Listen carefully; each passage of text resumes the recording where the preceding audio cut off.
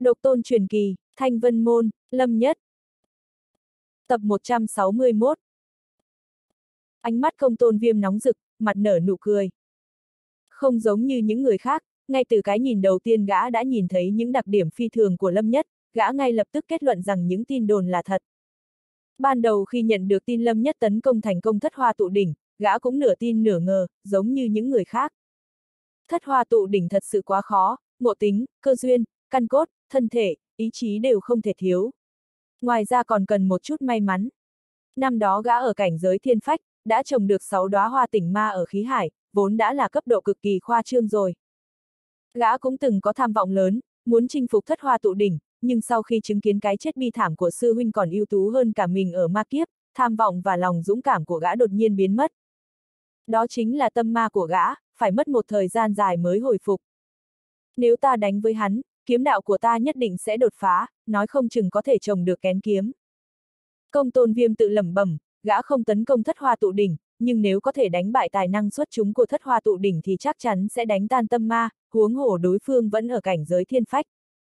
Mà gã đã đến cảnh giới bán bộ thần đan, có thể dễ dàng đè bẹp một tên có tu vi tiểu thần đan tôn giả, cho dù bị áp chế ở cảnh giới thiên phách, thực lực của gã cũng sẽ không thua kém đối phương.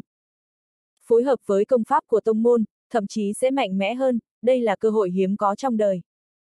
Gã nhìn xuống, phong tinh dương đã bị ép đến mức vô cùng chật vật, lâm nhất rõ ràng còn chưa xuất ra nhát kiếm nào. Chỉ dựa vào kiếm ý mênh mông đã khiến các thủ đoạn của đối phương tựa như bị ném xuống biển cả bao la. Có sự khác biệt rất lớn về trình độ kiếm đạo. Đôi mắt kiếm của công tôn viêm có thể thấy rõ sự khác biệt giữa hai người.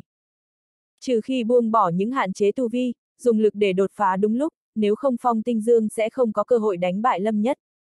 Tuy nhiên, cơ hội này sẽ không còn nữa khi lâm nhất đạt tới tinh quân. Truyền thừa tính lũy kinh khủng của đối phương sẽ đến mức khó tưởng tượng được, lúc đạt tới cảnh giới tinh quân sẽ là lúc đạt tới trình độ khủng bố nhất. Đại hội danh kiếm này thực sự đến rất đúng lúc. Trong lòng công tôn viêm tràn đầy tinh thần chiến đấu, sự hứng thú của gã với lâm nhất ngày càng mãnh liệt. Đây chính là chìa khóa để gã tiến xa hơn. Trong mắt gã, lâm nhất đã trở thành một bước đệm hoàn hảo. Bùm! Lúc này, phong tinh dương trên chiến trường không thể chịu đựng được nữa, hét lên điên cuồng, muốn dùng võ học thánh linh. Đây là biện pháp cuối cùng của gã, nếu vẫn không thể ép lâm nhất xuất kiếm, gã chắc chắn sẽ thua. Mọi người trên đài quan sát đều vô cùng lo lắng, công tôn viêm lắc đầu, thực ra phong tinh dương đã thua lâu rồi. Kiếm giả phải quả quyết sát phạt, sợ nhất ném chuột sợ vỡ bình, mất đi tài năng. Bùm! Quả nhiên, trong khoảnh khắc mắt lâm nhất mở ra, kiếm ý thông thiên hoàn mỹ đỉnh cao của hắn lập tức bộc phát.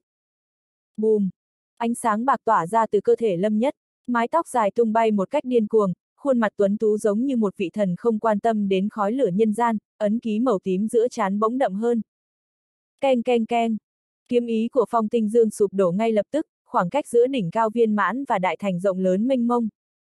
Hơn nữa, một người mới chuẩn bị xuất phát, trong khi người kia đã vượt qua đỉnh cao. Giống như một thanh bảo kiếm tuyệt thế và một thanh kiếm đồng, vừa chạm vào, kiếm đồng đã vỡ thành từng mảnh. Phụt! Phong tinh dương nôn ra máu, thậm chí gã còn không có cơ hội sử dụng võ học thánh linh của mình. Khi táng hoa xuất ra, kiếm ý cường đại càng thêm mạnh mẽ. Trong chớp mắt, kiếm mang do lâm nhất phung ra có sức tàn phá khủng khiếp, phá vỡ chân nguyên hộ thể của đối phương. Keng! Kiếm thế hừng hực rơi xuống như một ngọn núi, phong tinh dương lại phun ra máu, mặt đỏ bừng vì bị đè ép. Phịch, hai chân gã mềm nhữ, quỳ xuống sàn đấu. Ken két, những vết nứt nhỏ tách ra trên lưng con thú rắn chắc. Mọi người há hốc mồm, tự hỏi kiếm thế đè lên phong tinh dương đáng sợ đến mức nào. Đôi mắt của phong tinh dương đờ đẫn nhìn lâm nhất với vẻ sợ hãi. Đối thủ chỉ cần một đòn đã có thể đánh bại được gã, nhưng đã chọn cách dễ nhất và ít tốn công sức nhất.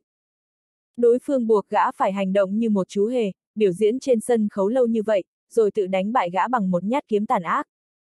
Ta thua rồi. Audio điện tử võ tấn bền.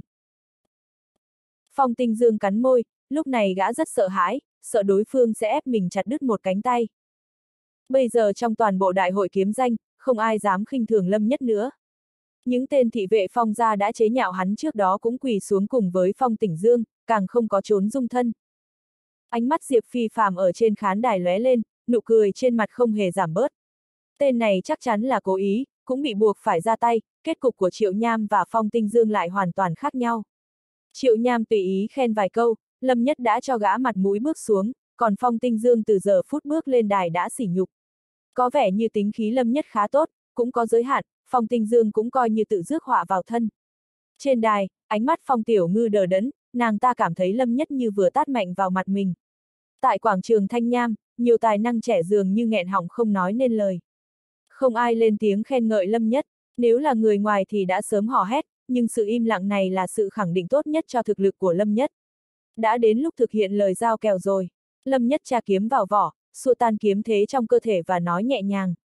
lọt mọi người xôn xao, quả nhiên Lâm Nhất muốn ép đối phương chặt đứt cánh tay của mình, Phương Tinh Dương là người phong ra mà. Mặt Phong Tinh Dương đỏ bừng, vô cùng khó chịu, trước trận đấu, gã chưa bao giờ nghĩ rằng mình sẽ thua. Rất khó chịu à. Mặt Lâm Nhất không chút biểu cảm, nhẹ nhàng nói, lúc ngươi không cho ta rời đi, ngươi không nghĩ tới cảm giác của ta sao? Tiểu công chúa của ngươi hết lần này đến lần khác bêu xấu ta, cũng chưa từng nghĩ đến ta có khó chịu hay không nhỉ? Một đám thị vệ châm chọc giễu cợt ta, cũng chưa từng nghĩ ta có khó chịu hay không, đúng không? Phong tỉnh Dương có vẻ lúng túng, gã không đủ can đảm để chặt đứt cánh tay của mình, cũng không thể bác bỏ lời nói của Lâm Nhất. Bây giờ ngươi đã biết khác biệt giữa ngươi và Triệu Nham rồi chứ? Lâm Nhất thản nhiên nói, nếu là Triệu Nham, không cần ta mở lời, hắn nhất định sẽ tự chặt đứt một cánh tay, cho nên ngươi không bằng hắn. Ta, chặt. Phong Tinh Dương không nói nên lời, vô cùng đau đớn. Miệng nói tự chặt tay nhưng cứ do dự không ra tay. Tiểu huynh đệ, cho lão già ta một chút thể diện được không? Chuyện này tạm gác lại, theo thỏa thuận trước đó, Phong gia sẽ trả cho ngươi 10 thánh binh. Phong huyền tử ta cũng nợ ngươi một ân tình, sau này nếu như ngươi muốn tạo kiếm, ta sẽ cố gắng hết sức để đáp ứng mọi yêu cầu của ngươi. Phong huyền tử ở bàn khách quý thở dài, nhìn Lâm Nhất từ xa và nhẹ nhàng nói. Mọi người đều ồ lên, lão già phong gia này thực sự rất hào phóng. Ông ta không chỉ trả 10 thánh binh mà còn nợ Lâm Nhất một ân tình. Trong đám đông, bạch trưởng lão ngồi cạnh lạc hoa không ngừng ra hiệu bằng ánh mắt với Lâm Nhất. Thật ra Lâm Nhất đã nhìn thấy từ lâu, với tư cách là trưởng lão của Phủ Vân Kiếm Tông, bạch trưởng lão đương nhiên không muốn đắc tội với tàng kiếm lâu. Lâm Nhất nhẹ nhàng lắc đầu, rồi gật đầu đồng ý với yêu cầu của Phong huyền tử, không tiếp tục ép buộc đối phương, bình tĩnh nói, người đi xuống đi. Phong tỉnh dương thở phào nhẹ nhõm, lập tức nhếch nhác bỏ chạy, thậm chí không dám quay lại đài phi thiên. Một lúc sau, có người mang cả 10 thanh thánh kiếm tới, Lâm Nhất lấy hết cho vào túi chữ vật. Đến bước này, Lâm Nhất biết rằng mình không còn đường lui nữa, bất kể có muốn hay không thì cũng bị mắc kẹt sâu trong đại hội kiếm danh. Nếu rời đi vào lúc này, không những bạch trưởng lão sẽ không đồng ý, mà những tài năng xuất chúng còn lại cũng sẽ không đồng ý. Còn ai muốn đấu với ta nữa không? Lâm Nhất cầm táng hoa, nhìn xung quanh, bất cứ nơi nào hắn liếc nhìn, bóng người nơi đó đều lần lượt cúi đầu, không dám nhìn hắn. Sao có thể như vậy chứ? Phong Tiểu Ngư vô cùng bối rối. Nàng ta tự nhủ, có vẻ như Lâm Nhất thực sự muốn càn quét đại hội kiếm danh. Nàng ta lại nhủ rằng Lâm Nhất khi dễ quận Thanh Dương không có ai à. Dường như quả thực là vậy, đám tài năng xuất chúng của quận Thanh Dương, ngay cả dũng khí nhìn hắn cũng chẳng có chứ đừng nói đến việc đấu với Lâm Nhất. Còn có tai. Ngay khi mọi người đang im lặng, một giọng nói trong trẻo vang lên, công tôn viêm chậm rãi bước lên đài phi thiên. Khoảnh khắc lời vừa dứt, ý kiếm thông thiên viên mãn đỉnh cao được giải phóng từ người công tôn viêm. Một đạo kiếm thế uy hùng lao lên, trong nháy mắt xé tan mây mù trên trời. Gã nhìn mọi phía bằng nửa con mắt, mọi người đều cảm thấy vai mình bỗng nặng trĩu. Bên dưới phủ vân đều là lũ kiến. Công tôn viêm nhìn lâm nhất, nói ra một câu nói mà những người có tài năng xuất chúng đều hiểu. Vèo. Vừa dứt lời, gã đã nhảy xuống từ đài phi thiên, một luồng kiếm vô hình bao. Quanh, xoẹt, xoẹt, xoẹt, xoẹt, khoảng không giống như màn bình phong tầng tầng lớp lớp, cùng với việc gã giáng xuống, kiếm ý bị xé nát không ngừng. Phong mang của gã rất sắc bén, như thể các vạt áo và sợi tóc của gã có thể so sánh với thanh bảo kiếm sắc bén nhất thế giới. Nhìn thấy kiếm phong vây quanh công tôn viêm, có người kinh ngạc nói, kiếm đó đó. Giống như dị tượng của toái hư kiếm quyết, không ảnh không lưỡi, kiếm chém hư không. Toái hư kiếm quyết là thánh linh kiếm quyết của kiếm đế ngự thanh phong lúc còn trẻ, được rèn luyện và bổ sung sau khi trở thành đế, hiện tại rất nổi tiếng khắp côn luân. Tông môn của công tôn viêm vốn dĩ có mối liên hệ chặt chế với một nhánh của kiếm đế. Không có gì đáng ngạc nhiên khi gã có thể luyện thành toái hư. Kiếm quyết. Ta còn tưởng rằng gã không có hứng thú với đại hội danh kiếm. Nếu gã không ra tay, đại hội danh kiếm thật sự sẽ bị lâm nhất càn quét. Khoảnh khắc công tôn viêm đáp xuống chiến đài, kiếm phong xung quanh gã ngưng tụ lại, một số lưỡi kiếm lờ mờ tan vào không trung với ánh sáng mở như nước. Chín thanh. Lâm nhất nhìn rõ ràng, thu hết vào mắt hình ảnh lưỡi kiếm lóe lên rồi biến mất. Công tôn viêm rất hào phóng, nhìn Lâm nhất và cười nói, ta đã thành danh từ lâu, vốn dĩ không nên đánh với ngươi, nhưng đại hội danh kiếm này thì không sao. Mọi người đều hạn chế tu vi của mình ở cảnh giới thiên phách, mặc dù ta vẫn chiếm được hời nhưng cũng tính là công bằng rồi. Lâm Nhất không biết lai lịch của đối phương, nhưng có thể nhìn ra được rằng, thực lực của gã mạnh hơn rất nhiều so với đám người triệu nham. Hắn cảm nhận được trên người gã một cỗ khí phách huy nghiêm vô song, trên người gã còn có kiếm quang vô hình chiếu sáng toàn bộ quảng trường thanh nham. Đó là trái tim kiếm giả của đối phương, đã tích lũy đến mức rất đáng sợ. Ta không giống những người khác, ta biết chút ít về ngươi, thậm chí còn biết một chút về lai lịch của ngươi. Ngươi mạnh hơn bọn họ nghĩ rất nhiều, trận chiến này có lẽ ta sẽ thu hoạch được nhiều. Ta hy vọng ngươi cũng thế. Công tôn viêm tỏ vẻ thản nhiên và tự tin. Có vẻ lâm nhất đánh thất hoa tụ đỉnh thành công đã thu hút sự chú ý của một số thế lực hàng đầu. Người tới đây không có ý tốt, lâm nhất thầm nghĩ, trong lời nói của đối phương ám chỉ điều gì đó, lộ ra vẻ tự tin vô tận. Ngươi rất mạnh, nhưng ta đã tới đây rồi. Bởi vì ta mạnh hơn ngươi, trận chiến này ngươi không những sẽ thua mà sẽ còn trở thành hòn đá lót đường của ta. Lâm Nhất thu lại suy nghĩ của mình, tập trung ánh nhìn vào đối phương. Trận chiến này xem ra sẽ cực kỳ nguy hiểm. Trên chiến đài hung thú, Lâm Nhất và Công Tôn Viêm đứng cách nhau hàng trăm mét, cả hai đều không vội ra tay.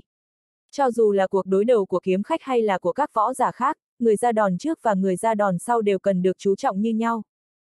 Nếu như người có đủ tự tin, nền tảng đáng kinh ngạc thì ra đòn sau sẽ thích hợp hơn, bởi vì người ra đòn trước nhất định sẽ để lộ sơ hở ra trước. Nhưng nếu như người không nhìn ra sơ hở, thì người ra tay sau sẽ gặp rắc rối, đối phương sẽ chiếm được hết lợi thế. Việc cân nhắc, lựa chọn ưu và nhược điểm để đưa ra quyết định này đòi hỏi sự sáng suốt của võ giả.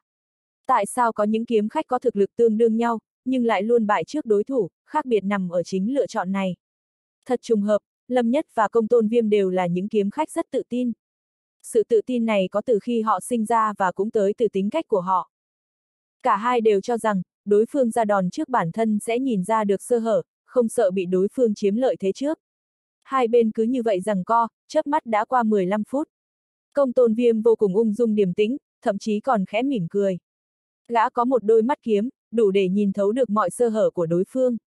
Huống hồ trong cuộc giao đấu giữa Lâm Nhất và Triệu Nham, hắn ít nhiều cũng đã để lộ ra một ít bản lĩnh.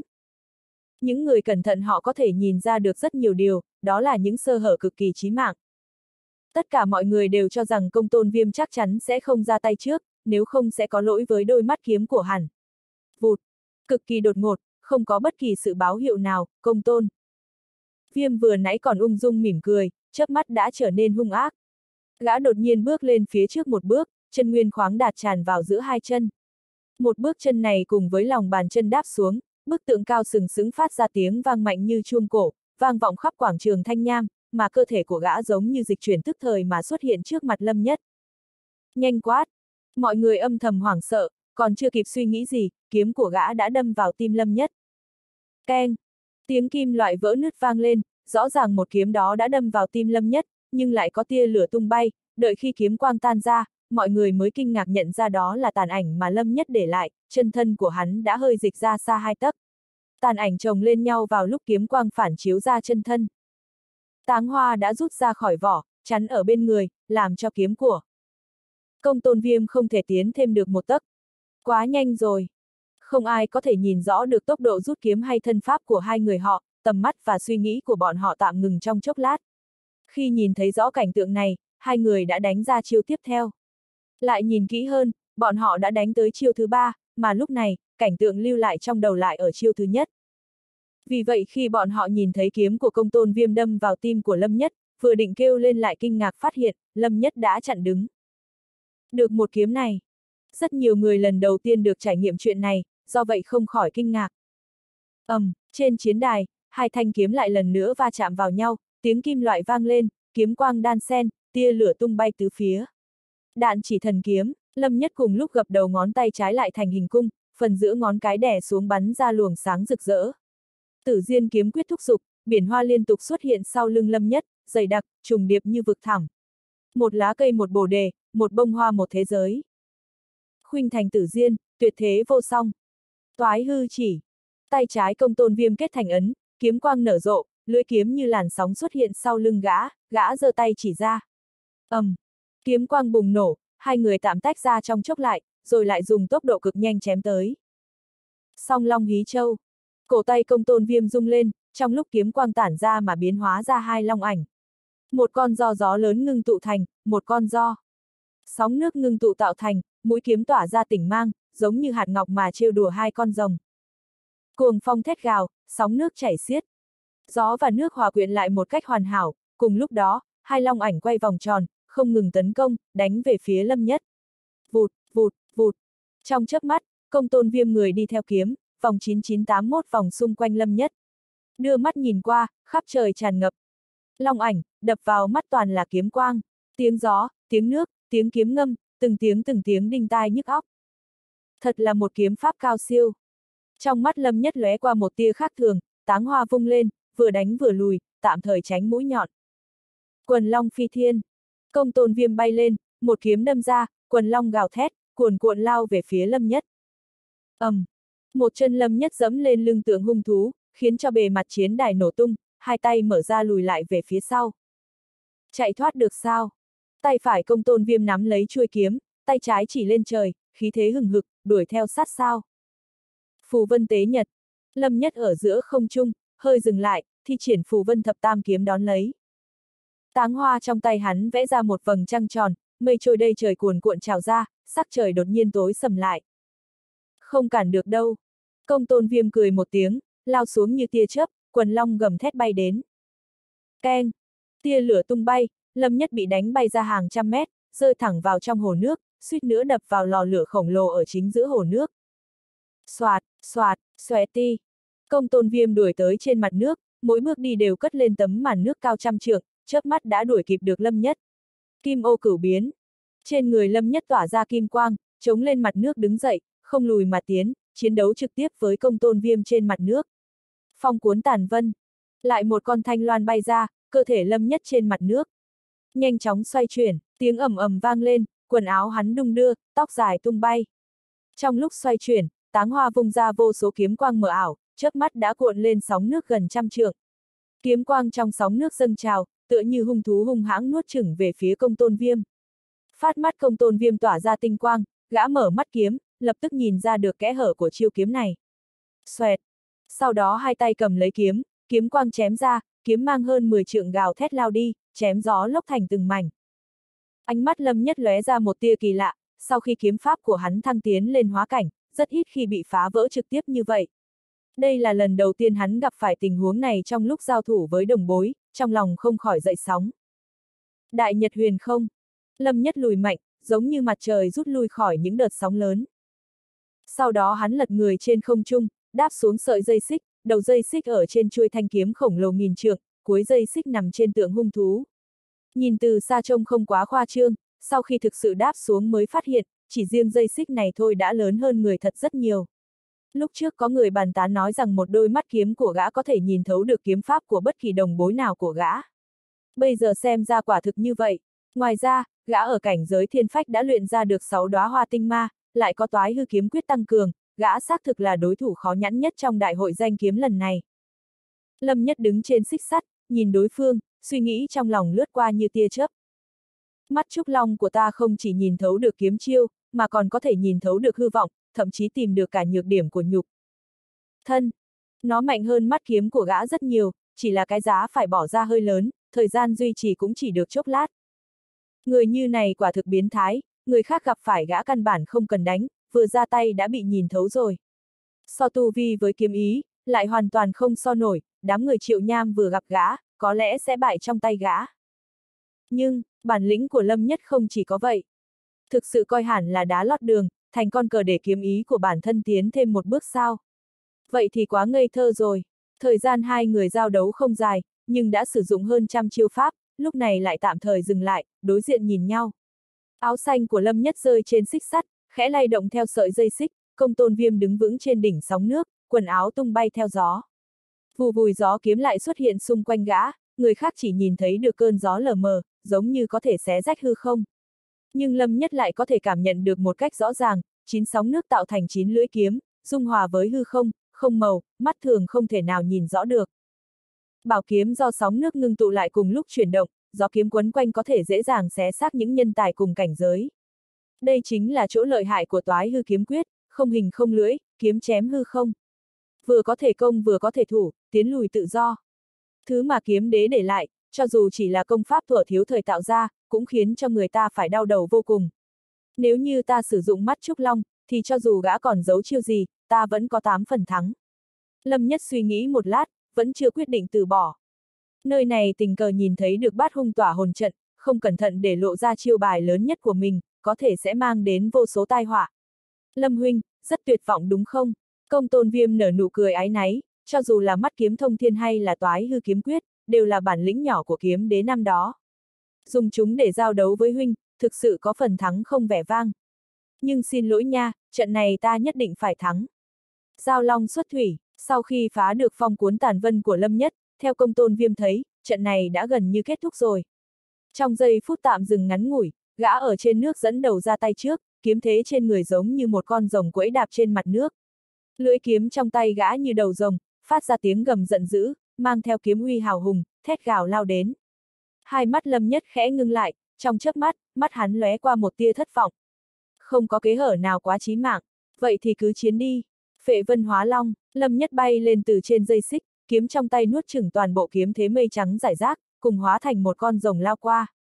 ầm, um, hai long ảnh quấn vào nhau, nổ ra một cơn bão kiếm vô cùng hỗn loạn, lâm nhất thúc dục thân pháp đến cực hạn, táng hoa không ngừng đâm ra, từng chút từng chút phá vỡ điểm yếu trong kiếm pháp của công tôn viêm, đập tan kiếm thế của đối phương. Công tôn viêm khẽ kinh ngạc, không ngờ lâm nhất cũng có thể tìm ra được nhiều kế hở của gã đến như vậy. Những gã nhanh chóng bình tĩnh lại, quay người biến chiêu, họa long điểm tinh.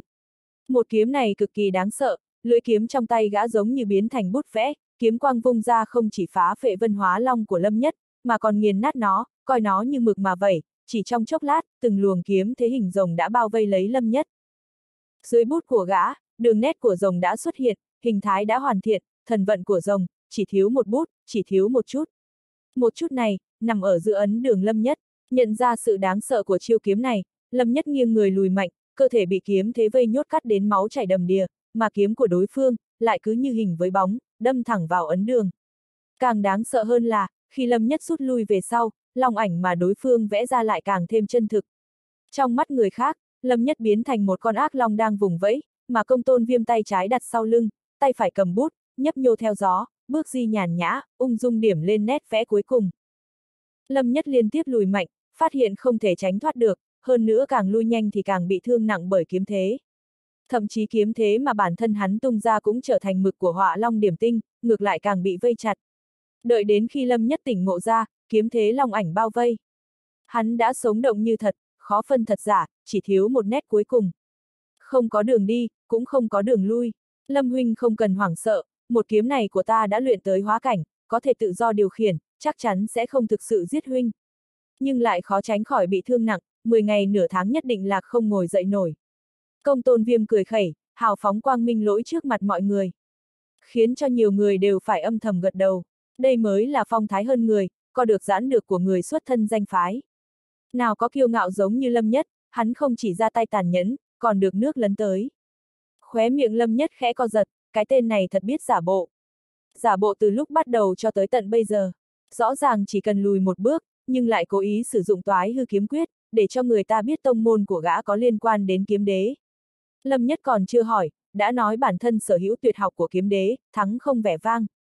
Thắng không vẻ vang, còn chưa ra tay, mà đã cho rằng ta sẽ thua sao. Bây giờ lại tới nữa rồi, người còn chưa thắng kìa, giả bộ cái gì. Một lần hai lần cũng thôi đi, nhiều lần thực sự có phần không quen. Có lẽ người xuất thân danh phái, ai cũng thích kiểu này thì phải. Không chỉ muốn biến đối thủ thành đá lót đường, còn muốn cho tất cả mọi người đều nhìn thấy phong độ của mình. Lâm Nhất không cảm xúc, không để ý tới đối phương. Chính vào lúc tất cả mọi người đều nghĩ rằng hắn sắp bị đâm trúng mà âm thầm thúc. Dục kén kiếm ở ấn đường. Không chịu thua sao, công tôn viêm khế sừng sốt, gã còn cho rằng Lâm Nhất sẽ chủ động nhận thua, lắc đầu trầm giọng nói, đắc tội rồi dứt lời, một kiếm đâm thẳng về ấn đường Lâm Nhất. Họa long điểm tỉnh hoàn tất, Lâm nhất trong tưởng tượng của mọi người sẽ bị một kiếm này nổ tung đầu, hoặc công tôn viêm dơ cao đánh khẽ không khiến hẳn rơi vào cảnh tượng mình đầy thương tích. Âm, ầm, ầm, trường kiếm đâm vào ấn đường lâm nhất, nhưng lại không thể thực sự đâm vào được, ngược lại thân kiếm lại bắt đầu không ngừng run rẩy. Có kiếm ý mạnh mẽ dâng trào ở ấn đường lâm nhất, tay cầm kiếm của công tôn viêm không nhịn được mà run rẩy, kiếm thế long ảnh vây quanh lâm nhất xuất hiện những vết nứt không ngừng lan rộng ra. Rác, rác, tiếng thân rồng vỡ vụn truyền vào tai mọi người, khiến cho ai nấy đều vô cùng kinh ngạc. Chuyện gì vừa xảy ra vậy? Ai nấy đều bối rối, không tự chủ được mà đứng lên, đồng thời bội kiếm mà họ cất trong hộp cũng không nhịn được mà lay động. Lâm Nhất phát ra tiếng gào giận dữ, kiếm ý bán bộ thần tiêu hoàn toàn tung ra, lòng ảnh bao vây hắn vỡ tan trong nháy mắt. Âm, kiếm quang bay thẳng lên trời, rực rỡ chói mắt. Chỉ thấy từng chùm quang mang rực rỡ màu bạc bắn ra từ trong cơ thể Lâm Nhất, kiếm ý bán bộ thần tiêu điên cuồng bộc phát. Dưới sự tăng cường của kiếm ý bậc này, kiếm thế mạnh mẽ của Lâm Nhất lại càng tăng vọt, chớp mắt đã áp đảo kiếm thế của công tôn viêm. Kén kiếm, ánh mắt công tôn viêm hiện lên sự kinh ngạc nồng đậm, gã vô. Cùng bất ngờ, cuối cùng cũng biết vì sao một kiếm này của gã lại không thể đâm tiếp được. ầm, um, thanh kiếm đâm vào ấn đường lâm nhất không ngừng run rẩy, trực tiếp văng ra ngoài, cả người gã không chịu nổi luồng sức mạnh này, kêu lên tiếng rồi bay ngược ra ngoài hàng trăm mét. Giết, lợi dụng kiếm ý khiến cho mây bay đầy trời tan biến, toàn thân lâm nhất tỏa ra quang mang, tóc dài tung bay, lao thẳng đi. Thanh vân trực thượng, lâm nhất dung hòa với bầu trời, hắn giống như đứng trên đỉnh núi thánh, nhìn xuống tám phương. Một kiếm này của hắn tựa như một ngọn núi đơn độc cao vạn trượng, gió lốc nổi lên, hình thành vô số kiếm mang ác liệt, mạnh mẽ đánh âm. Công tôn viêm bị khí thế của chiêu kiếm này đánh bay ra xa, khóe miệng tràn ra vệt máu. Nhưng gã cũng nhân cơ hội này mà bắt lấy thanh kiếm hỏa bị đánh bay vào tay. Kiếm của ta là vĩnh hằng. Công tôn viêm không còn dám xem thường lâm nhất nữa, gã sử dụng bí thuật trong toái hư kiếm quyết, chín thanh trường kiếm sóng nước dung quanh thân và hư không đã hoàn toàn ngưng tụ thành hình. Chín thanh kiếm xếp thành hình cánh quạt sau lưng gã, kiếm quang tỏa sáng, tựa như tinh thần tồn tại vĩnh hằng. ầm ầm, kiếm ý của gã theo đó tăng vọt, điên cuồng đột phá, trong thời gian tương đối ngắn đã đạt tới bán bộ thần tiêu tương đương. Phượng khởi triều minh, công tôn viêm dựa vào bí thuật của toái hư kiếm quyết mà thi triển ra kiếm chiêu vô cùng mạnh mẽ. Gó gió lốc dữ dội thổi tới, bay lên lưỡi kiếm do sóng nước ngưng tụ thành sau lưng gã, phát ra tiếng vang như tiếng của Phượng Hoàng. ầm, um, hai thanh kiếm lại va chạm vào nhau giữa không trung, phát ra âm thanh dữ dội rung chuyển cả bầu trời. Mọi người từ xa nhìn thấy cảnh này, toàn bộ đều kinh ngạc. Không khép nổi miệng, trước mắt bọn họ xuất hiện dị tượng vô cùng khoa trương, rồng bay phượng múa, thanh loan tung bay, núi thánh rung chuyển, vô số kiếm quang như thủy triều mà tuôn trào ra từng đợt. May mà bọn họ đã chuẩn bị từ lâu, thấy tình thế không ổn, bèn lần lượt trốn ra xa. Chẳng bao lâu, núi thánh sụp đổ, Phượng Hoàng kêu khóc, Thủy Triều lần lượt rút lui. Hai người chiến đấu ngang tài ngang sức, kiếm ý lâm nhất càng mạnh, bán bộ thần tiêu, phong mang tứ phía, dưới tầng mây bay, tất cả chỉ như kiến hôi. Công tôn viêm có bí thuật toái hư kiếm quyết, dựa vào chín lưỡi kiếm như tỉnh mang vĩnh hằng, cứng rắn dơ cao kiếm ý này lên. Trên phi thiên đài, không ngừng vang lên những tiếng cảm thán. Trời ơi, kiếm ý của hai người này sao lại đáng sợ như. Vậy, quá khoa trương rồi, bản lĩnh của kiếm đế nhất mạch quả thực đáng sợ, không hình không lưỡi, phá vỡ hư không, chẳng trách kiếm đế Ngọc Thanh Phong năm đó chỉ dựa vào một thanh kiếm đã có thể dẹp yên đông hoang, không có đối thủ. Đây vẫn chưa tính là gì, Lâm Nhất mới thực sự đáng sợ, cảnh giới thiên phách, nắm giữ kiếm ý thông thiên đã đủ nghịch thiên lắm rồi, vậy mà hắn còn chạm đến cả ngưỡng cửa của thần tiêu kiếm ý. Thân là kiếm khách bọn họ là những người hiểu rõ nhất việc. Lĩnh ngộ kiếm ý khó khăn đến nhường nào, bọn họ nhìn Lâm Nhất với ánh mắt ghen tị gần như phát cuồng. Trình độ kiếm thuật, xét về trình, Lâm Nhất vẫn nhỉnh hơn một chút. Vẻ mặt triệu nham nghiêm túc, cậu ta trầm giọng nói. Hai người họ đều là cường giả mà cậu ta rất kính trọng. Nhưng nếu công bằng mà nói, thì trong trận đấu vừa nãy khiến người ta thán phục này, Lâm Nhất vẫn mạnh hơn một chút. Công tôn viêm dựa vào bí thuật, nếu đã là bí thuật thì không thể duy trì, mà Lâm Nhất lại khác. Cung hạo nhiên lạnh nhạt nói, chuyện này chưa chắc, hậu duệ kiếm đế có rất nhiều bản lĩnh, chẳng qua trước đó công tôn viêm có phần đánh giá thấp hắn, đợi khi gã nghiêm túc lại, Lâm Nhất sao có thể là đối thủ của gã. Hai người này vốn không cùng một đẳng cấp, triệu nham không cho là vậy, làm gì có cái gọi là khinh địch. Với tính cách của công tôn viêm, nếu như thực sự có thể áp đảo. Được Lâm Nhất ngay từ đầu, thì gã đã áp đảo Lâm Nhất từ lâu rồi.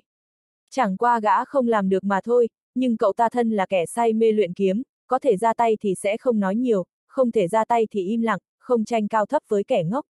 Đa số những người khác trên phi thiên đài đều cho rằng cung hạo nhiên nói đúng.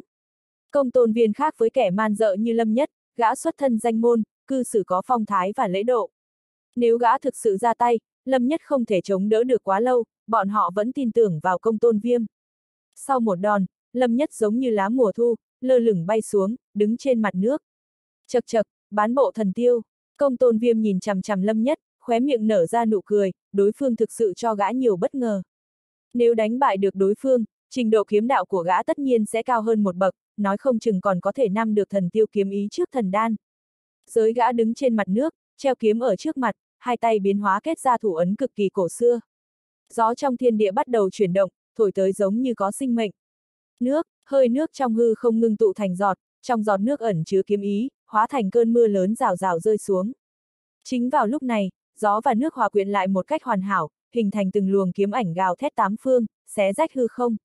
Cuối cùng kiếm ảnh ngưng tụ thành một con phượng hoàng kim sắc trên không trung, nhờ truyền huyết khí vào mà tỏa sáng rực rỡ, ngọc tựa như là vật sống. Keng, phượng hoàng phát ra tiếng kêu thánh thoát tựa như tiên âm, khiến cho dây xích đang giữ lấy thanh kiếm khổng lồ ngàn trượng không ngừng run rẩy. Tách tách, trong lò lửa như ngọn núi, ngọn lửa cuồn cuộn bốc cháy, thậm chí bề mặt của thanh kiếm khổng lồ vạn trượng còn xuất hiện cả vết nứt. Cảnh tượng này khiến cho người ta vô cùng kinh sợ, chỉ thấy ra đầu tê dại, không thể tin tưởng nổi. Thánh linh hình thành từ kiếm ý của gió và kiếm ý của nước khiến cho toàn bộ quảng trường thanh nham trở lên nhỏ bé. Lâm nhất khẽ nheo mắt, thanh loan bay trên đầu hắn, hắn cầm táng hoa tung ra kiếm quang làm dung chuyển cả quảng trường thanh nham, đánh về phía công tôn viêm trên không trung, Phượng Hoàng và Thanh Loan giao chiến, đánh ra từng luồng văn kiếm như ba quang. Trên mặt nước, Lâm Nhất và công tôn viêm cầm kiếm lao vào tấn công, cơ thể của họ bay lên, càng bay càng cao. Trước ánh mắt kinh ngạc của mọi người, họ liên tục đánh đến chuôi kiếm khổng lồ ngàn trượng, mỗi khi Lâm Nhất đánh ra một chiêu, công tôn viêm lại phá một chiêu ấy. Dưới mắt kiếm thông thiên của ta, vạn vật trên thế gian này đều là hư vọng, cho dù huynh thực sự nắm giữ thần tiêu kiếm ý, hôm nay cũng chắc chắn thua cuộc. Công tôn viêm chiếm được chút ưu thế, bèn khế nhướng mày, cười tươi nói. Gã phải thắng trận này, tìm chết, ánh mắt lâm nhất lóe lên một tia lạnh lế ô, cái tên này thực sự vẫn chưa xong à, đến giờ vẫn còn giả bộ. Hắn hít một hơi thật sâu, bảy đóa hoa tinh ma lặng lẽ nở rộ trong cơ thể, toàn thân tràn ngập chân nguyên, gần như là vô tận. Phù vân tế nhật, phong cuốn tàn vân, cửu tiêu vân động, phệ vân hóa long, trong lúc lâm nhất hít thở, hắn liên tiếp phung ra 10 chiêu kiếm, mỗi chiêu kiếm đều là hóa cảnh đỉnh phong, mỗi kiếm đều liên kết với nhau một cách hoàn hảo, mỗi một kiếm đều vô cùng phù hợp với phủ vân kiếm quyết. Chiêu này mạnh hơn chiêu trước, kiếm này mạnh hơn kiếm trước. Ý cảnh của phù vân kiếm pháp được hắn thi triển một cách triệt để, ngựa thần lướt gió tung bay, không để lại dấu vết. Keng, keng, keng, ban đầu công tôn viêm còn có thể theo kịp, nhưng khi phá đến kiếm thứ sáu thì gã đã có phần luống cuống tay chân không theo kịp. Mồ hôi trên trán gã chảy thành giọt, không ngừng thở dốc. Nhanh, quá nhanh, một kiếm này chưa xong kiếm khác đã tới, như từng đợt sóng biển, nối tiếp nhau không ngừng kéo đến. Người phá được hết không? Lâm nhất lạnh lùng hừ một tiếng, cổ tay rung lên, lại là hai chiêu kiếm liên tục đánh tới. Bích lạc tinh thần, vân ngoại thanh sơn, kiếm thứ 11 và 12 của Phù Vân gần như phóng ra cùng một lúc, tiếp nối hoàn hảo với 10 chiêu kiếm trước đó. Biển mây vô tận trải ra từ sau lưng hắn, trắng xóa rộng lớn, vô tận không dứt. Phù Vân đã hiện, Thanh Sơn ở đâu? Ta chính là Thanh Sơn. Vào khoảnh khắc mây biến thành biển, kiếm thế trên người Lâm Nhất trở lên vô cùng nặng nề, táng hoa trong tay còn nặng hơn cả núi xanh. ầm, um, hư không xung quanh đều không chịu nổi thân kiếm nặng nề, cong lại rồi sụp đổ, mây trắng vô tận và 12 con chim thanh loan trên bầu trời đều bị nuốt chửng vào. Một vòng xoáy màu trắng vô cùng đáng sợ xuất hiện, kiếm quang rực rỡ chói mắt xoay quanh chính giữa vòng xoáy. Điều khiến cho ánh mắt công tôn viêm tràn ngập khiếp sợ đó là gã. Gã vẫn đang phá chiêu kiếm thứ 11 của Lâm Nhất. Không, cùng với tiếng kêu thảm thiết, trên ngực của công tôn viêm xuất hiện một cái lặng nề rơi xuống từ trên chuôi gã bị chém bay ra ngoài, kiếm khổng lồ ngàn trượng. Cho dù bị phong ấn thì kiếm thế của thiên lôi kiếm phong ấn bên trong thanh kiếm khổng lồ ngàn trượng vẫn tản ra ngoài được. Công tôn viêm rơi vào trong đó rồi bị kéo mạnh xuống, gã không ngừng dãy ruộng nhưng đều vô ích. Ùm, gã ngã vào trong nước, bắn lên một màn nước lớn, chín lưỡi kiếm vĩnh hằng như tinh mang đồng thời tan vỡ. Vòng xoáy tan biến, biển mây men theo chân lâm nhất, trải ra xung quanh thanh kiếm khổng lồ ngàn trượng. Lâm nhất tay cầm táng hoa, liếc nhìn xung quanh, tất cả mọi người đều bất giác ngẩng đầu nhìn lên. Táng hoa ngâm vang, kiếm ý rít gào. Trên phù vân, ai có thể sánh được với hắn? Bên ngoài thanh sơn, sao trời lấp lánh. Không ai có thể ngờ rằng trận đại chiến đỉnh cao trên thanh kiếm khổng lồ đó sẽ kết thúc một cách bất ngờ như vậy. Vốn tưởng rằng mắt kiếm thông thiên của công tôn viêm đã là bất khả chiến bại, bất kể lâm nhất có ra chiêu gì thì cũng sẽ bị phá tan, như vậy việc hắn bại trận cũng chỉ là chuyện sớm muộn. Nhưng không ngờ cuối cùng lâm nhất lại nghĩ ra cách phá giải, khiến gã mệt mỏi vì kiếm sau nhanh hơn kiếm trước. Mà đặc biệt là chiêu kiếm cuối cùng lâm nhất sử dụng, mạnh đến nỗi không lòng tin được, vòng xoáy kiếm ý màu trắng mang khí thể càn quét thiên hạ, thần cản giết thần. Trung quy vẫn là kỹ thuật của lâm nhất cao hơn một bậc, sau khi kiếm ý bán bộ thần tiêu phát huy đến mức đỉnh phong thực sự quá đáng sợ.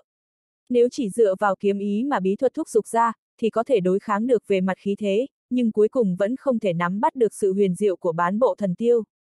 Triệu nham trên phi thiên đài không ngừng thổn thức, cảm thán nói, cảnh giới thiên phách lại nắm giữ được kiếm ý của bán bộ thần tiêu, Lâm Nhất đã định sẵn là sẽ làm danh chấn đông hoang rồi. Có người khác đột nhiên tỉnh táo lại nói, Lâm Nhất đã đánh bại công tôn viêm, vậy quán quân của đại hội danh kiếm lần này không phải là hắn rồi sao? Vùi mọi người trên phi thiên đài hít một hơi khí lạnh rồi kêu lên, sắc mặt ai nấy đều vô cùng đặc sắc. Lời của người này có thể nói là xét đánh ngang tai, khiến ai nấy đều chấn động trong lòng. Quán quân, còn có thanh kiếm phần ảnh, thanh kiếm phần ảnh do chính tay phong huyền tử làm ra có giá trị vô ngần cũng sẽ là của lâm nhất. Người kiếm khách thương huyền phủ mà trước đó ai đều coi thường, thậm chí còn châm chọc chế nhạo, mà hắn dưới sự mỉa mai của người nhà họ phong, thực sự quét sạch đại hội danh kiếm, đạp tất cả xuống dưới chân. Lúc này người nhà họ phong xấu hổ muốn chết, hận không thể tìm một cái lỗ để chui xuống. Phong tiểu ngư đã hoàn toàn mất hồn từ lâu, khuôn mặt nóng rát đến phát đau. Khi phong tinh dương bại trong tay lâm nhất, nàng ta đã gần như chống đỡ không nổi rồi. Bây giờ đến ngay cả công tôn viêm cũng đã bại dưới kiếm của lâm nhất, nàng ta hoàn toàn sụp đổ, tinh thần nổ tung. Có thể tưởng tượng được, sau ngày hôm nay vị tiểu công chúa nhà họ. Phong này nhất định sẽ trở thành trò cười của quận thành Thanh Nham. Bất kỳ ai nhắc đến lâm nhất, nói đến sự uy dũng của thế kiếm càn quét tám phương trên đại hội danh kiếm của hắn, đều sẽ lôi những lời nàng ta từng nói ra mà chế nhạo một phen. Quán quân sao, vậy cũng chưa chắc, triệu nham bĩu môi, trên mặt nở nụ cười. Mọi người lập tức kinh ngạc, dùng ánh mắt không thể tin được mà nhìn y. Triệu nham quét mắt, cười tươi nói, không phải cung huynh của chúng ta còn chưa ra tay sao, có huynh ấy ra trận, chưa chắc không thể thăng được lâm nhất, cung hạo nhiên huynh nói đúng không? Ngươi, khi em cung hạo nhiên nghe vậy phẫn nộ, hết chuyện rồi hay sao lại nói chuyện đó? Ở cảnh giới thiên phách có phải là đối thủ của lâm nhất hay không, trong lòng y rất rõ ràng. Khiêu chiến lâm nhất và tự dước lấy nhục có khác gì nhau, triệu nham này rõ ràng ghi thù, làm nhục gã trước mặt mọi người. Nhìn dáng vẻ tức giận không nói lên lời của cung hạo nhiên, trong lòng triệu nham vô cùng vui sướng, ai bảo ngươi vừa nãy không nói tiếng người.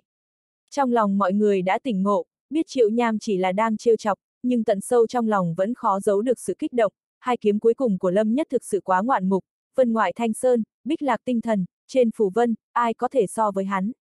Đến ngay cả công tôn viêm cũng bại trận, chức quán quân của hắn là danh chính ngôn thuận. Thiên phú kiếm đạo mà Lâm Nhất thể hiện ra còn mạnh hơn nhiều so với tưởng tượng của tất cả mọi người, rất nhiều người đều tò mò về lai lịch của hắn, phía trên tầng mây, trên đỉnh thanh kiếm khổng lồ. Lâm Nhất liếc nhìn xung quanh, tay cầm táng hoa, nhẹ giọng nói, còn có ai, muốn giao đấu với ta. Đến cuối tầm mắt toàn bộ là một khoảng im lặng, tất cả nhân tài kiệt xuất ở cả quảng trường Thanh Nham đều cúi đầu không dám nhìn lên. Thật khí phách. Diệp Phi phàm ở dưới đài mỉm cười, hai mắt khẽ nheo lại, kích động nói, Lâm huynh của ta khí phách như vậy đấy, ta hỏi lại, còn có ai không? Mấy người bên cạnh đều lộ ra nét mặt khinh bỉ, người thôi đi được rồi. Lúc đầu quan hệ với Lâm Nhất dường như cũng khá tốt, nhưng sau khi thấy Lâm Nhất bị nhắm vào lại lập tức bỏ chạy như bay. Đợi sau khi Lâm Nhất thể hiện thực lực ra, lại cười hi hi dính lấy, không hề cảm thấy xấu hổ chút nào, da mặt còn dày hơn cả tường thành. Sau khi các vị trưởng lão thế gia thảo luận, nếu như không còn có ai giao đấu với Lâm Nhất, vậy quán quân của đại hội danh kiếm lần này thuộc về Lâm Nhất. Giọng nói phong huyền tử vang lên từ trên bục khách quý, vang vọng khắp quảng trường Thanh Nham, ai nghe thấy đều thấy cảm khái. Trên bục khách quý, sắc mặt của phong huyền tử vẫn rất tốt, nhưng sắc mặt của mấy ông lão nhà họ phong lại không được tốt cho lắm. Lần này nhà họ phong thực sự quá mất mặt, trò hề mà phong tiểu ngư gây ra khiến nhà họ phong không xuống nước được. Một ông lão bên cạnh phong huyền tử tức giận nói, đại ca, chức quán quân này thực sự phải cho lâm nhất sao? Ông ta là đại trưởng lão phong nham của tàng kiếm lâu, cũng là nhị đệ của phong huyền tử, có bối phận rất cao ở nhà họ phong. Phong huyền tử không để ý ông ta, thấy không có ai đáp lại, trầm giọng nói, quán quân lâm nhất, tặng kiếm. Vụt, vụt, hai bóng người bay về phía tầng mây, chỗ chuôi kiếm lâm nhất đang đứng, hai người nâng một hộp kiếm, sắc mặt trông vô cùng chật vật. Không còn nghi ngờ gì nữa, thứ trong hộp kiếm kia chắc chắn là kiếm phần viêm do thiên huyền sư phong huyền tử chính tay làm ra, kiếm phần viêm có phần lõi thánh văn bát phẩm, 700 đường thánh văn thông thường, hao phí 10.000 cân canh kim, thân chính dùng huyền tỉnh mài thành. Thanh kiếm này đã gần như đạt đến cực hạn của thánh khí bách văn, bởi vì nó được tạo ra bởi phong huyền tử, nên thậm chí còn không hề thua kém một số thánh binh thiên văn. Chẳng qua thánh binh thiên văn là một cái hố, xác suất thất bại cực kỳ cao. Cho dù là thánh minh thiên văn bình thường nhất thì đối với nhiều người đứng đầu cảnh giới long mạch mà nói cũng đã là sự tồn tại khó có được rồi. Đầu tiên là nguyên liệu có thể chịu tải được 1.000 đường thánh văn đã cực kỳ quý hiếm, thứ hai là số lượng thánh văn in lên càng nhiều thì độ khó càng lớn, tỷ lệ thất bại cũng theo đó mà tăng cao. Rất nhiều khi, tỷ lệ thành công của thánh khí thiên văn không xác định bằng số lần mà dùng thời gian để tính. Lấy mốc 100 năm thì một huyền thiên sư có thể chỉ tạo được thành công được một thanh thánh binh thiên văn trong 100 năm đó, thậm chí 100 năm vẫn không thể tạo ra được một thanh cũng là chuyện rất bình thường. Đây mới chỉ là thánh khí thiên văn thông thường nhất, nếu là thánh binh thiên văn hiếm có hơn một chút vậy thời gian phải dùng nghìn năm để tính. Chính vì những lý do đó, nên cũng chứng minh được thực lực rèn kiếm của phong huyền tử, thánh binh bách văn có thể miễn cưỡng sánh được với thiên văn, nói là tay nghề tuyệt diệu cũng không phải nói quá. Dưới ánh mắt hâm mộ đến phát cuồng của mọi người, hai người hầu kiếm nhà họ phong nâng hộp kiếm xuất hiện trước mặt Lâm Nhất. Kiếm phần viêm, Lâm Nhất nhìn hộp kiếm, sâu thảm trong lòng ít nhiều cũng có phần dao động, thanh kiếm này là một thanh kiếm cực kỳ tốt. Nếu có thể biến thanh kiếm này thành binh khí quá độ cho táng hoa thăng cấp lên trước thánh binh, vậy thì có lợi rất lớn đối với việc đề cao thực lực của Lâm Nhất, đáng tiếc. Phải bình tĩnh, Lâm Nhất bình tĩnh mở hộp kiếm, kiếm phần viêm đựng trong bao kiếm xuất hiện trước mặt hắn, bao kiếm cổ kính dày nặng, toàn thân một màu đỏ thẫm, in lên những đường văn màu sáng bạc, đỏ và bạc kết hợp lại làm cho bao kiếm trông vô cùng cao cấp. Mời Lâm công tử thử kiếm. Hai người hầu kiếm mặt không cảm xúc nâng cao hộp kiếm lên. Lâm nhất nhìn hộp kiếm, vẫn không có động tác gì. Một lúc sau, khắp nơi truyền đến tiếng xì xào, vẻ mặt bối rối. Mời Lâm công tử thử kiếm. Hai người hầu kiếm có phần mất kiên nhãn, thanh kiếm phần viêm này vô cùng nặng, hai người họ nâng lên như vậy rất vất vả. Triệu nham trên phi thiên đài vẻ mặt khó hiểu, chẳng lẽ tên này vẫn chưa hài lòng với kiếm phần viêm sao? Đây chính là kiếm phần viêm đấy. Phong huyền tử trên ghế khách quý khẽ cao mày, thái độ này của Lâm Nhất khiến ông ta có phần xấu hổ. Ông ta thân là thiên huyền sư có danh tiếng ở khắp Đông Hoang, ông ta sở hữu khả năng rèn ra thánh binh thiên văn, nhiều cảnh giới long mạch, thậm chí nhiều thánh giả có qua lại với ông ta cũng tuyệt đối không dám thờ ơ với kiếm của ông ta như vậy. Này này, sợ cái gì, đã có ta chống lưng cho ngươi rồi. Chỉ là một thanh kiếm rách mà thôi, gấy thì gấy, trong túi chữ vật của ngươi không phải vẫn còn 10 thanh sao. Tiểu băng phượng trong hộp kiếm tử diên biết nội tình cười tinh nghịch, xem náo nhiệt không ngại lớn chuyện. Cái này giống nhau được sao, 10 thanh thánh kiếm trước đó cộng lại cũng không bằng thanh kiếm phần viêm ở trước mặt này. Nếu thực sự bẻ gấy nó, Lâm Nhất chắc chắn sẽ đau lòng chết mất, nhưng trước ánh mắt của tất cả mọi người, nếu ngay cả kiếm mà hắn cũng không thử thì phong huyền tử chắc chắn sẽ xấu hổ. Thử kiếm là sự tôn trọng cơ bản nhất đối với người rèn kiếm, là một phép lịch sự. Hơn nữa hắn không phải là người giận cá chém thất, hắn có ân oán với Phượng Tiểu Ngư, nhưng không có hiểm khích gì với phong huyền tử, tất nhiên đối phương nghĩ như thế nào thì đó là việc của họ. Tiểu huynh đệ, người không hài lòng với kiếm phần viêm mà lão phu rèn ra sao? Trên bục khách quý, vẻ mặt phong huyền tử nghiêm túc, giọng nói đúng lúc vang lên. Tiền bối nói đùa rồi. Lâm nhất nhẹ giọng đáp lại. Vậy mời thử kiếm, thanh kiếm này đã tốn rất nhiều tâm huyết của ta, cho dù ngày nào đó ngươi siêu phàm nhập thánh nó cũng sẽ không làm cho ngươi quá bẽ mặt.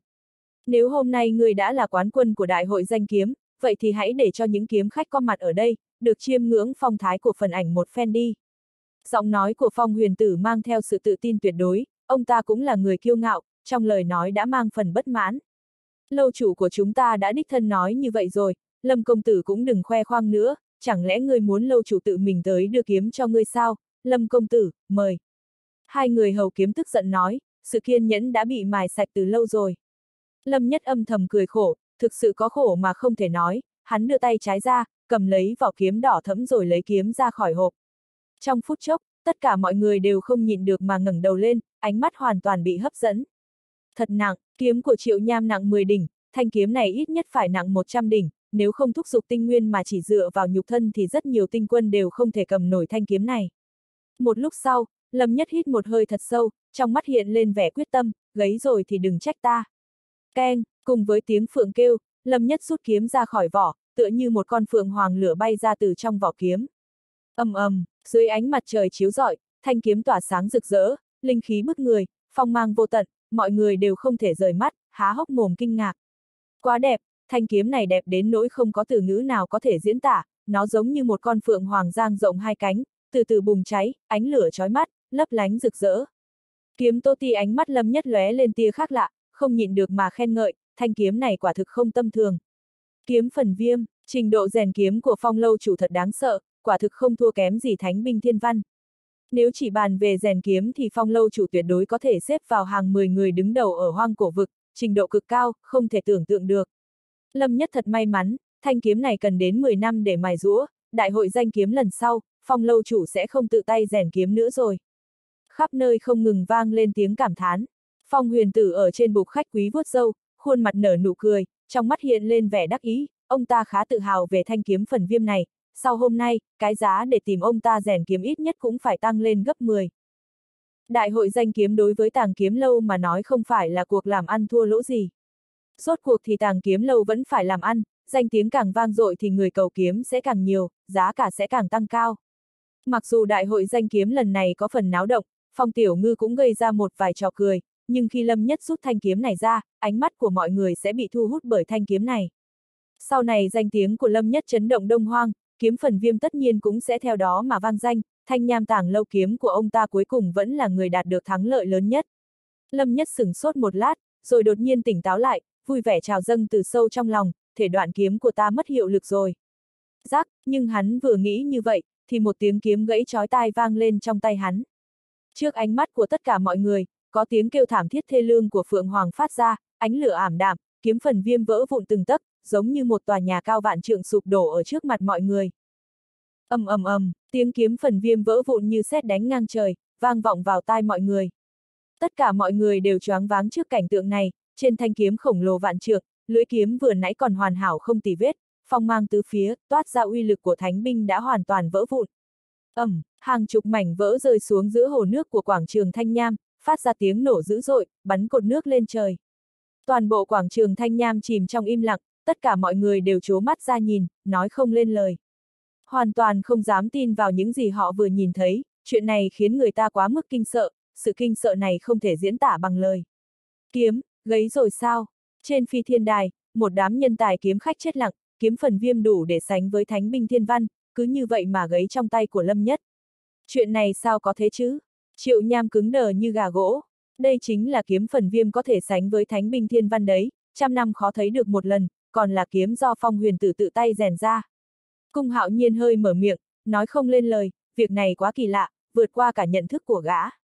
Xong rồi, phong tiểu ngư và phong tỉnh dương, còn có một đám con cháu nhà họ. Phong sắc mặt đều trắng bệch, tay chân lạnh toát. Trong đại hội danh kiếm, danh kiếm hiếm có mà ông nội làm ra bỗng dưng lại gãy ở trước mắt mọi người, đả kích này đối với thanh nham tàng kiếm lâu mà nói gần như là tai họa ngập đầu, về sau danh tiếng của họ sẽ phải chịu tổn hại chưa từng có. Trời ơi, chuyện gì vừa xảy ra thế này? Kiếm phần viêm gấy rồi ư? Đang yên đang lành sao lại gãy? Vừa nấy thánh uy đó rõ ràng còn sánh được với cả thánh binh thiên văn, đây tuyệt đối là một danh kiếm mài không phải là do lâm nhất cố ý làm gãy đấy chứ.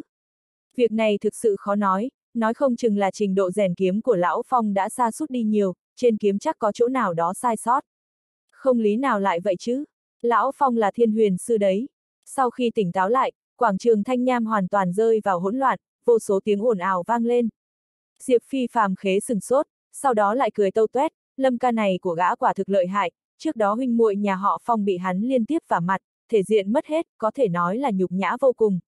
Gã bị Phong tiểu ngư chế diêu mấy lần, làm cho nhục nhã, lại không ngờ. Được một phát trúng đích, đại hội danh kiếm nơi mà yêu nghiệt tụ tập quả thực đã bị lâm nhất quét sạch, đến ngay cả công tôn viêm được mệnh danh là có một cặp mắt kiếm, nhìn thấu được tất cả kiếm chiêu của đồng bối cũng bị đánh bại. Mặt mũi của phong tiểu ngư có thể nói là mất sạch sẽ, không quá một ngày, nàng ta sẽ thành trò cười lớn ở quận thành Thanh Dương này. Nhưng Lão Phong vẫn là người có thủ đoạn, biết kiếm phần viêm vừa xuất hiện, ánh mắt của tất cả mọi người sẽ bị nó thu hút, dù sao những người đến đây đều là kiếm khách, thanh kiếm này cũng xem như là sự bổ trợ hoàn hảo cho Lâm Nhất. Sau này khi vang danh cũng sẽ đi liền với nhau, danh tiếng của thanh nham tàng kiếm lâu tất nhiên sẽ theo đó mà vang xa. Nói cho cùng cũng miễn cưỡng có thể xem là cục diện đôi bên cùng có lợi. Nhưng bây giờ thanh kiếm phần viêm này lại gấy ở trong tay Lâm Nhất, ở ngay trước mặt mọi người. Cho dù là phong huyền tử cũng sẽ phải mất mặt, cuộc vui này lớn thật đấy. Diệp Phi Phàm không biết xấu hổ mà cười nói. Lạc hoa trên khán đài trầm ngâm, bạch trưởng lão bên cạnh lo lắng đến mức lòng bàn tay đổ đầy mồ hôi, phiền phức này thực sự hơi lớn rồi. Ở chính giữa hồ nước, trên chuôi kiếm khổng lồ vạn trượng. Lâm Nhất cũng sướng sờ một lúc lâu mới phản ứng lại, nhìn chuôi kiếm trụi lùi ở trong tay, khóe miệng không nhịn được mà co giật. Tìm hẳn dỉ máu, thịt đau đớn vô cùng. Đây chính là thánh khí sánh được với cả thánh kiếm thiên văn đấy, cho dù mình không dùng đến, cũng không biết có thể đổi được bao nhiêu tài nguyên nữa. Chỉ cần hắn sẵn lòng bán ra, sẽ có vô số người đổ xô kéo đến. Nếu không được nữa thì tặng lại cho bạn bè cũng là một lựa chọn rất hoàn hảo, khi tự tay cầm lấy chuôi kiếm, bản thân Lâm Nhất cũng có thể cảm nhận được một cách rõ ràng thanh kiếm này mạnh đến mức nào. Có hai ánh mắt như muốn giết người nhìn về phía hắn, Lâm Nhất ngẩng đầu lên nhìn, hai kiếm thế đang giận dữ nhìn hắn. Trả lại cho ngươi này. Lâm Nhất chợt căng thẳng, lúng túng cười nói, nhanh chóng ném chuôi kiếm vào trong hộp kiếm của đối phương. Kiếm cũng gấy rồi, người trả lại chuôi kiếm là có ý gì? Hai người hầu kiếm nổi giận đùng đùng, tức đến hộc máu, không muốn bị người ta đùa giỡn như vậy. Phụt, chính vào lúc này, phong huyền tử trên bục khách quý sắc mặt trắng bệch, phun ra một ngụm máu tươi, cơ thể run rẩy ngã từ trên ghế xuống. Kiếm của ta, kiếm của ta, giọng phong huyền tử run rẩy, ánh mắt đờ đẫn, chỉ chốc lát mà trông ông ta đã già đi rất nhiều. Đại cai lâu chủ, một đám người nhà họ phong giật nảy mình, vội vàng tiến lên đỡ phong huyền tử đứng dậy. Rất nhiều người đứng đầu thế gia ở bên cạnh đều cảm thấy đáng tiếc. Lâm nhất này quả thực lợi hại, đến cả một huyền thiên sư cũng bị hắn chọc tức đến hộc máu. Đó là người có thể xem như là nửa thánh nhân, thậm chí là người mà ngay cả thánh giả chân chính cũng không dám đắc tội. Phong huyền tử trên bục khách quý từ xa nhìn lâm nhất, sắc mặt không ngừng thay đổi, hồi lâu sau mới hoàn toàn tỉnh táo lại, run giọng cười nói, kiếm kinh thiên, ông thật sự tìm được một đồ đệ tốt. Tốt, tốt, rất tốt. Ông ta tức giận chỉ vào lâm nhất, toàn thân run rẩy, gần như sụp đổ. Kiếm kinh thiên là ai? Lâm nhất lộ ra vẻ mặt khó hiểu, vừa định lên tiếng giải thích, không phải ông ta đang nói về lão già đó chứ. Nếu vậy thì thực sự hiểu lầm rồi, quan hệ giữa hắn và ông ta bây giờ chẳng ra làm sao cả, việc kiếm phần viêm bị gãy hoàn toàn là một sự trùng hợp. Thể chất thể đoạn kiếm của hắn, bản thân hắn cũng biết, cũng không muốn để lộ ra bên ngoài. Nhưng đối phương đã đích thân lên tiếng muốn hắn ở trước mặt mọi người thử kiếm, Lâm Nhất có lòng từ chối cũng không thể nói. Tiễn khách, sắc mặt phong huyền tử tối sầm lại, chỉ vào Lâm Nhất, giống to. ầm, um, âm thanh như sấm, tất cả mọi người đều bị giọng nói của phong huyền tử dọa sợ, tóc gáy dựng ngược, màng nhĩ rung lên. Phong huyền tử là người có tu dưỡng, khi đạt đến địa vị đó, đã rất ít khi nổi giận. Cho dù trước đó Lâm Nhất lần lượt làm Phong Tiểu Ngư và Phong Tỉnh Dương bế mặt, nhưng sắc mặt của ông ta vẫn vô cùng bình tĩnh, không có một chút dao động nào. Nhưng bây giờ ông ta nổi giận như vậy khiến cho tất cả mọi người đều vô cùng kinh ngạc, bọn họ chưa từng nhìn thấy Phong huyền tử mất bình tĩnh như vậy bao giờ. Nghĩ lại thì cũng có thể hiểu được, bất kỳ ai gặp phải tình cảnh như ông ta đều khó mà khống chế được cảm xúc. Lâm Nhất sừng sốt, thái độ này thực sự không thân thiện chút nào. Hắn cũng xem như là nửa người bị hại, vốn dĩ thanh kiếm đó đã là của hắn rồi, đối phương lại cử ép hắn phải thử kiếm trước mặt mọi người. Bỏ đi, Lâm Nhất thầm thở dài, không nói thêm gì nữa. Ngươi còn không cút đi, tàng kiếm lâu không hoan nghênh ngươi, tên nhãi như ngươi đến đây để gây sự đúng không? Đại trưởng lão nhà họ Phong thấy Lâm Nhất vẫn đứng trên chuôi kiếm, gào lên giận dữ. Đây chỉ là hiểu lầm. Lâm Nhất nhìn đối phương, bình tĩnh đáp. Hừ, ngươi đừng không biết điều như vậy, nếu còn không đi, đừng trách nhà họ Phong chúng ta không khách khí với ngươi.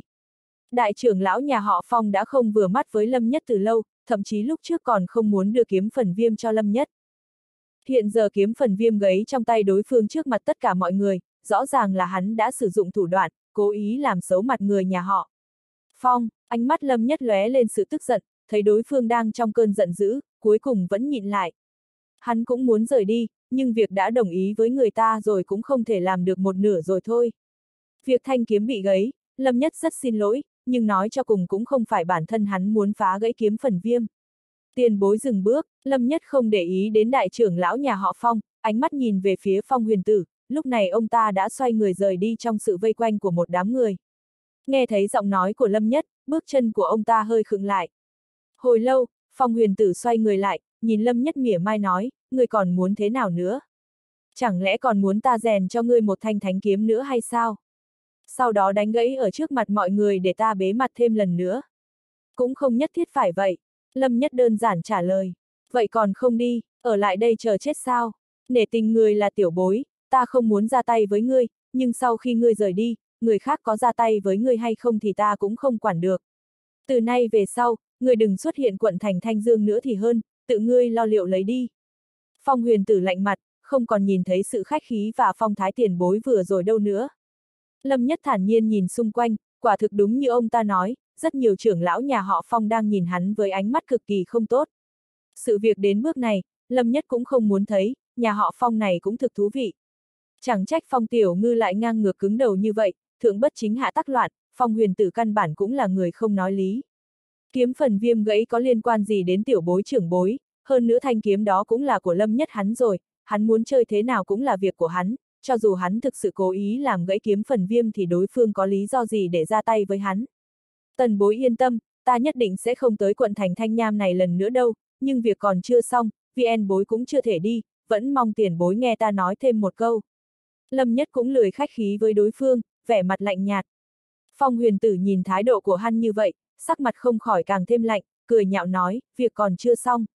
Ngươi nói xem cái gì gọi là việc còn chưa xong, không chỉ có ta sẽ lắng nghe, mà cả đại tộc thế gia của hoang cổ vực, tất cả nhân tài trẻ tuổi ở quảng trường Thanh Nham này đây, còn có trên dưới nhà họ Phong đều sẽ cẩn thận lắng nghe, ngươi còn có việc gì chưa xong. Nếu không nói ra được chuyện lớn long trời lở đất gì thì ta cũng không ngại thay kiếm kinh thiên dạy dỗ lại hậu bối đâu. Hàn ý ở quảng trường Thanh Nham trong nháy mắt tăng cao, tất cả mọi người đều cảm nhận được một luồng khí thức cực kỳ lạnh lo, cảm giác như ngồi trên bàn trông. Hàng loạt ánh mắt đổ dồn vào Lâm Nhất, đầy sự giễu cợt, châm chọc. Lâm Nhất này thực sự to gan bằng trời, ngay cả lão tiền bối như Phong huyền tử cũng đã tức đến hộc máu, vậy mà hắn vẫn được nước lấn tới. Nhất định phải chọc cho lão tiền bối tức giận, giờ thì hay rồi, Phong huyền tử thực sự tức giận rồi. Nếu Lâm Nhất không nói rõ được nguyên nhân, sợ rằng trên dưới nhà họ Phong đều sẽ không bỏ qua cho hắn, không chết cũng bị lột một lớp da. Trên phi thiên đài, cung hạo nhiên cười khẩy nói, lão Phong đang cho. Hắn thể diện, đừng có mà được đẳng chân lân đăng đầu, thực sự nghĩ nhà họ Phong dễ bắt nạt như vậy sao?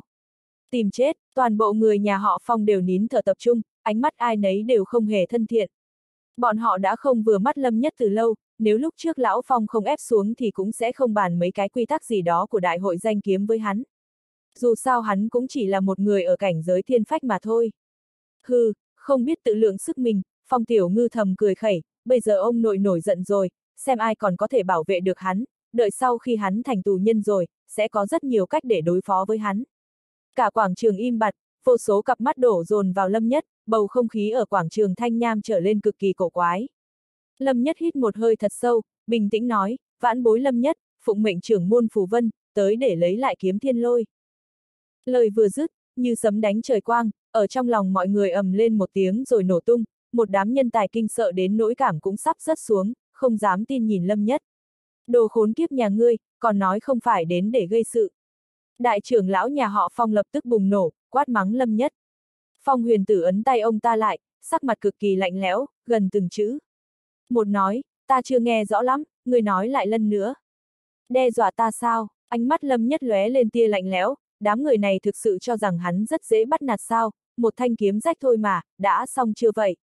Phía tầng mây, trên đỉnh thanh kiếm khổng lồ, Lâm Nhất khẽ nhíu mày, ánh mắt lộ ra phong mang, kiềm chế lại cơn giận đã hoàn toàn bùng nổ, từng chữ của hắn sắc như kiếm, phong mang ngạo cốt, dùng giọng nói đến cả bầu trời cũng phải run rẩy mà nói, văn bối Lâm Nhất, phụng mệnh trưởng môn phù vân, tới để lấy lại kiếm thiên lôi. Kiếm thiên lôi, có rất nhiều truyền thuyết về kiếm thiên lôi, cả hoang cổ vực, à không, gần như là toàn bộ kiếm khách ở Đông Hoang đều biết đến thanh kiếm này.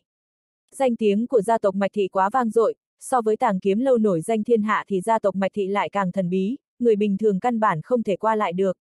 Có quá nhiều truyền thuyết liên quan tới gia tộc Mạch Thị, bọn họ không. Giống với tàng kiếm lâu chỉ chuyên về rèn kiếm, binh khí, bí bảo, con rối, lễ khí, mà gia tộc Mạch Thị tinh thông về mọi mặt, thậm chí còn có cả bí thuật kỳ môn, ngay cả ủ rượu cũng là đệ nhất thiên hạ. Thế gian này có muôn vàn sự vật, chỉ cần có đóng dấu của gia tộc Mạch Thị thì giá trị của nó sẽ tăng lên gấp bội.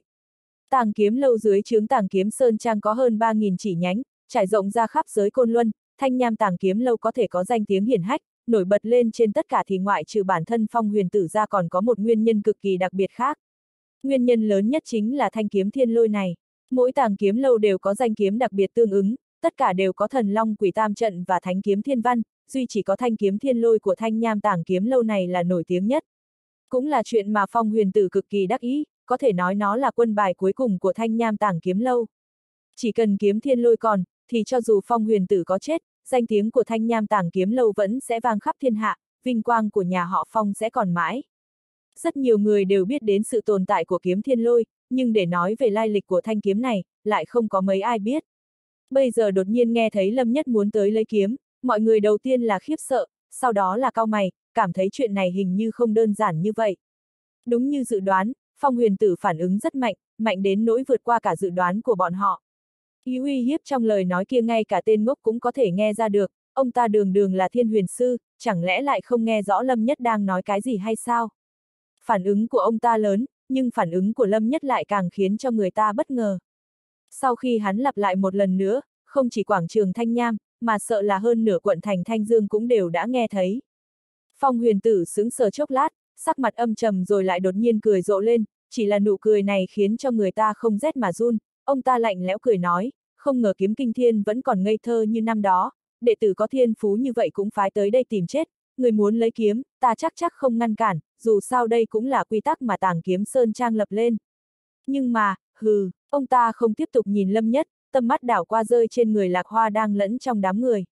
Sắc mặt rõ ràng đã nghiêm túc hơn rất nhiều, ông ta do dự nói, lạc công tử, nếu hắn chết trong thần long quỷ tam trận thì không liên quan gì đến tàng kiếm lâu ta, cũng không liên quan gì đến phong huyền tử ta đúng chứ.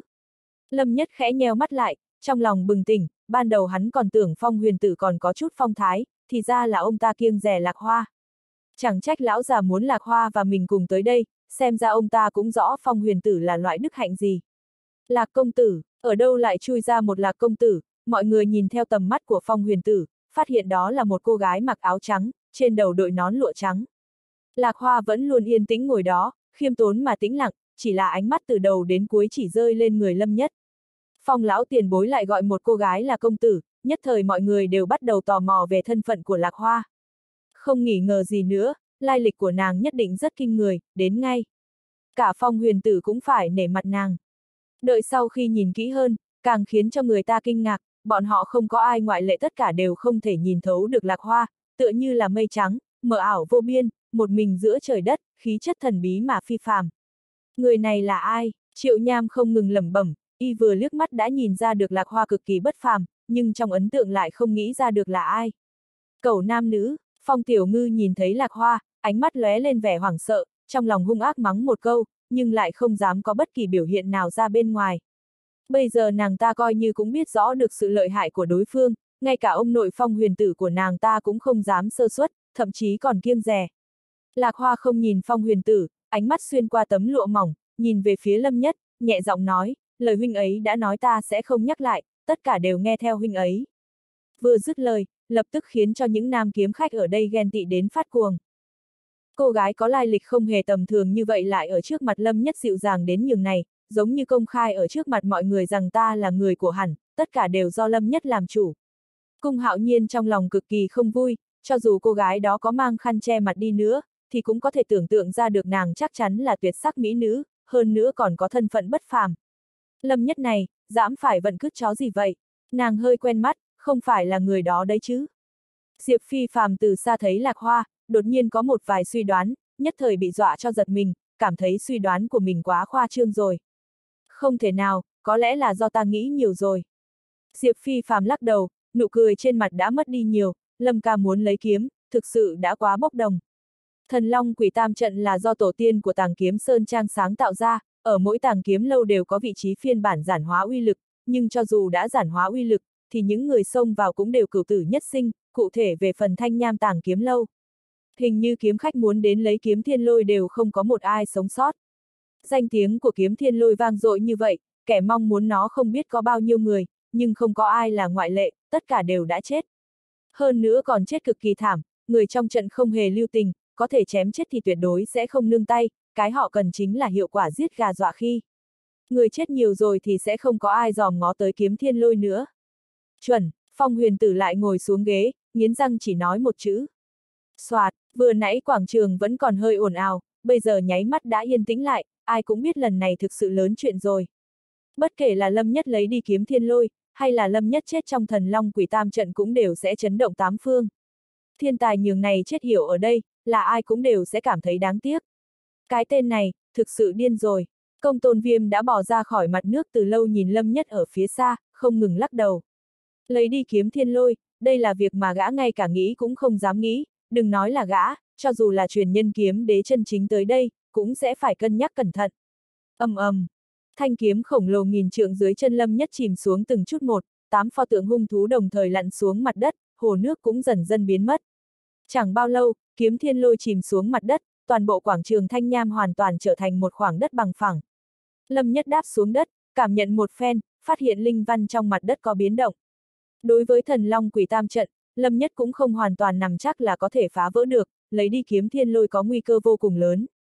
Nhưng việc đã đồng ý với lão già đó, hoặc là ngay từ đầu không tham gia vào đại hội danh kiếm, đã đi đến bước này rồi hẳn cũng không có lý do gì để lùi bước.